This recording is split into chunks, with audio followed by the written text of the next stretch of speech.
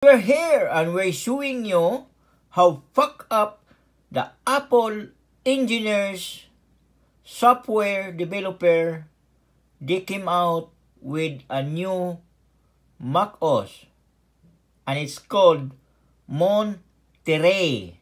And look at that.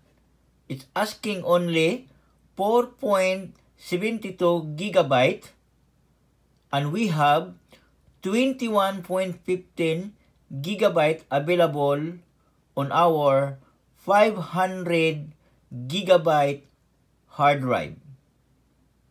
And Apple will not install. Look at that. Look at that. Look at that how pack up Apple is. That's how pack up Apple is as usual.